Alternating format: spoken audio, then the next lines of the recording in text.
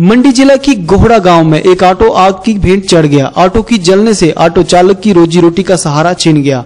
Auto चालक मनोहर लाल को भी चिंता स्थाने लगी है। क्यों?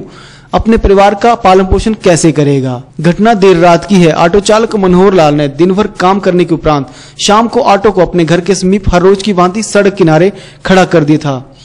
मनोहर लाल के मुताबिक देर रात को करीब दो बजे किसी शरारती तत्व ने उसके ऑटो को आग लगा दी, जिससे ऑटो पूरी तरह से जलकर राख हो गया। मनोहर लाल ने इसकी सूचना पुलिस को दी।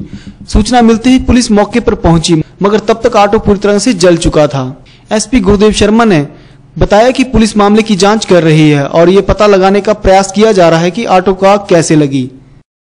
पुलिस स्टेशन सदर मंडी में एक थ्री व्हीलर के आग लगने की घटना की जानकारी एक पुलिस के पास आई है। उसकी पुलिस अभी इन्वेस्टिगेशन कर रही है। आग के कारणों का अभी तक पता नहीं चल पाया है।